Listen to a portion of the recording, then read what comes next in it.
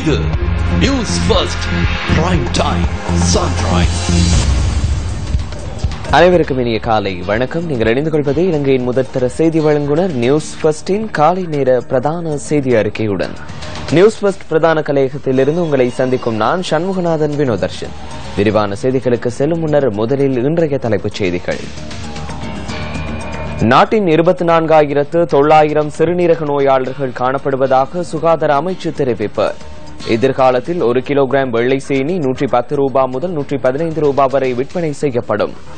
பதுளை மாவட்டத்தில் இருபத்தைந்தாயிரத்திற்கும் அதிகமான மக்கள் மண்சரிவு அபாயத்தை எதிர்நோக்கியுள்ளனர். எதியோப்பிய தலைநகரில் குப்பைமேடு சரிந்ததில் நாற்பத்தி எட்டு பேர் உயிரிழப்பு.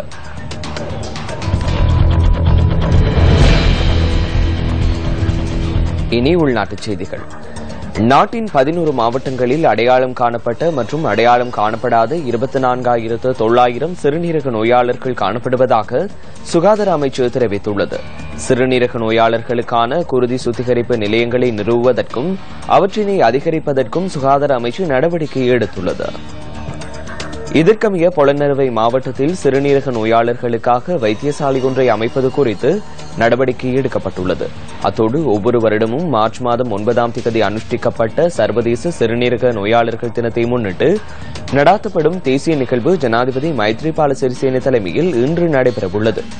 ஆரோக்கியமான சிறுநீரகத்திற்கான சுகாதார வளங்கள் நிறைந்த நாடு என்ற துணைப்பொருளின் கீழ் மாத்தளையில் மாத்தளையின் வெல்கமுவ நாமினி ஓய மத்திய மகா வித்தியாலயத்தில் இந்த நிகழ்வுகள் நடைபெறுகின்றன.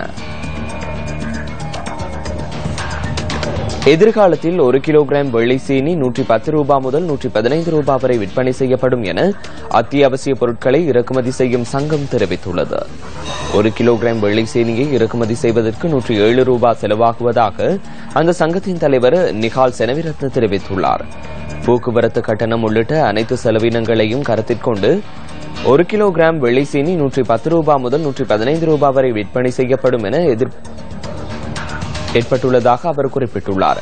எவ்வாறாயினும் பாரிய நட்டத்திற்கு மத்தியிலேயே நிர்ணய விலையின் கீழ் சீனி விற்பனை செய்யப்படுவதாகவும் அத்தியாவசிய பொருட்களை இறக்குமதி செய்யும் சங்கத்தின் தலைவர் நிகால் செனவிரத்ன சுட்டிக்காட்டியுள்ளார். மலைப்பாங்கான பகுதிகளில் பெய்கின்ற கடும் மழை காரணமாக பதுளை மாவட்டத்தின் பல பகுதிகளைச் சேர்ந்த இருபத்தையாயிரத்திற்கும் அதிகமான மக்கள் மண் சரிவு அபாயத்தை எதிர்நோக்கியுள்ளதாக மாவட்ட செயலாளர் நிமல் அபேசிரி தெரிவித்துள்ளார். பதுளை மாவட்டத்தில் சுமார் ஐயாயிரம் குடும்பங்களைச் சேர்ந்த மக்களே இவ்வாறு அபாயத்தை எதிர்நோக்கியுள்ளதாகவும் அவர் கூறியுள்ளார்.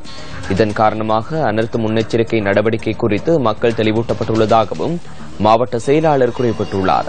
அனர்த்த முன்னெச்சரிக்கை விடுக்கப்பட்டுள்ள அனைத்து பகுதிகளிலும் மழை மானி பொருத்தப்பட்டுள்ளதாகவும் அதற்கமைய எழுபத்தைந்து மில்லிமீட்டருக்கும் அதிக மழை வீழ்ச்சி பதிவாகும் சந்தர்ப்பங்களில் தேவையான முன்னாயத்த நடவடிக்கைகளில் ஈடுபடுமாறு மக்களுக்கு அறிவுறுத்தப்பட்டுள்ளதாகவும் அவர் தெரிவித்துள்ளார். இதேவேளை மண்சரிவு அப- காரணமாக ஹபுத்தொலை கல்கந்த பகுதியில் இடம்பெயர்ந்த மக்கள் தொடர்ந்தும் பாடசாலையில் தங்க வைக்கப்பட்டுள்ளனர். சுமார் ஐம்பது குடும்பங்களைச் சேர்ந்தவர்கள் இவ்வாறு இடம்பெயர்ந்துள்ளதாகவும் அவர்களுக்கு தேவையான உலர் உணவுப் பொருட்கள் விநியோகிக்கப்படுவதாகவும் பதுளை மாவட்ட செயலாளர் குறிப்பிட்டுள்ளார். எவ்வாறாயினும் மன்சரிப் அபாய பகுதிகளில் வாழும் மக்களுக்கு புதிய வீடுகளை நிர்மாணிப்பதற்கான ஏற்பாடுகள் முன்னெடுக்கப்பட்டுள்ள போதிலும் வீடுகளை நிர்மாணிப்பதில் ஏற்பட்டுள்ள தாமதம் காரணமாக மக்கள் பெரிதும் பாதிக்கப்படுவதாகவும் பதுளை மாவட்ட செயலாளர் நிமல் அபேசிரி சுட்டிக்காட்டியுள்ளார். பல்வேறு கோரிக்கைகளை முன்வைத்து அரச வைத்தியசாலைகளில் பணிபுரியும் தாதியர்கள் இன்று காலை முதல் தொழிற்சங்க நடவடிக்கையில் ஈடுபட தீர்மானித்துள்ளனர். இன்று காலை ஏழு மணி முதல் இந்த எதிர்வரும் புதன்கிழமை வரை இந்த தொழிற்சங்க நடவடிக்கை முன்னெடுக்கப்பட உள்ளது நாட்டில் உள்ள அனைத்து அரசு வைத்தியசாலைகளில் கடமையாற்றும் தாதியர்களும் இந்த தொழிற்சங்க நடவடிக்கையை முன்னெடுக்க உள்ளமை குறிப்பிடத்தக்கது. அத்தோடு மேலும் இரண்டு அரசு தாதியர் சங்கங்கள் இந்த தொழிற்சங்க நடவடிக்கையை புறக்கணித்துள்ளது. மலையகத்தின் மாணிக்க நகராம் மாத்தலை அருள்மிகு ஸ்ரீ முத்துமாரியம்மன் தேவஸ்தான வருடாந்த மாசிமக மகோத்சவம் இன்று நிறைவு பெறுகின்றது. பாட்குட பவனியை தொடர்ந்து தீர்த்தோற்சவ பெருவிழாவும் வருடாந்த மகோத்சவமும் இனிதை நிறைவு பெறவுள்ளது. ஈழத்திருநாட்டின் வரலாற்று சிறப்புமிகு சக்தி ஆலயங்களில் ஒன்றான மாத்தடி ஸ்ரீ முத்துமாரியம்மன் ஆலய வருடாந்த மகோத்சவத்தில் நேற்று முன்தினம் பஞ்சரத பவனி இடம்பெற்றது. உலகை ரட்சிக்கும் அன்னை ஆதிபராசக்தி உள்ளிட்ட பரிவார மூர்த்திகளுக்கு இடம்பெற்ற வசந்த மண்டப பூஜைகளை அடுத்து ரதோற்சவம் ஆரம்பமானது. உலகாலும் மலையரசி அன்னை ஸ்ரீ முத்துமாரியம்மன் பரிவார மூர்த்திகளுடன் பஞ்சரதத்தில் வீதி உலார் சென்று நேற்று காலை கோவிலை சென்றடைந்தாள். தொடர்ந்து அம்பிகைக்கு இடம்பெற்ற விசேட பூஜைகளை அடுத்து இன்றைய தினம் தீர்த்தோற்சவம் இடம்பெறவுள்ளது. மாத்தலை ஸ்ரீ முத்துமாரி அம்பிகையின் வருடாந்த மகோற்சவ பெருவிழாவில் நாட்டின் அனைத்து பகுதிகளிலிருந்தும் பெருந்திரளான பக்தர்கள் கலந்து கொள்வது ஒரு தனிச்சிறப்பாகும்.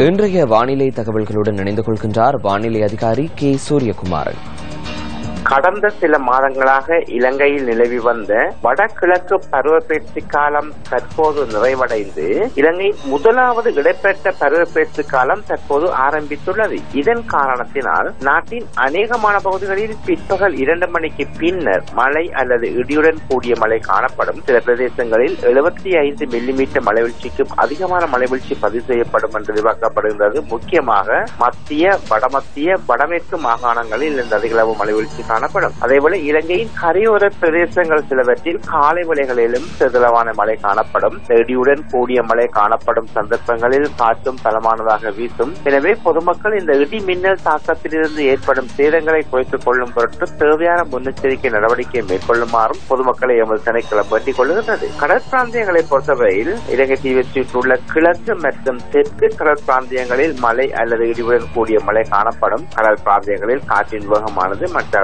இருபது கிலோமீட்டர் முதல் முப்பது கிலோமீட்டர் வரையான வேகத்தில் தென் மேற்கு திசையிலிருந்து அல்லது தெற்கு திசையிலிருந்து காற்று வீசும். இந்த காற்றின் வேகமானது சில சந்தர்ப்பங்களில் மன்னார் முதல் காங்கேசந்துறை வரையான கடல் பிராந்தியங்களில் மணிச்சாரத்துக்கு நாற்பது கிலோமீட்டர் வரை அதிகரித்து வீசக்கூடும். இத்துடன் நியூஸ் ஃபர்ஸ்டின் காலை நேர பிரதான செய்தி அறிக்கை நிறைவடைகின்றது. மீண்டும் சந்திக்கலாம் பத்து இருபத்தைந்து மணித்தியால செய்தியில். வணக்கம். 0114-896-896. www.newsfirst.lk. Feedback at newsfirst.lk.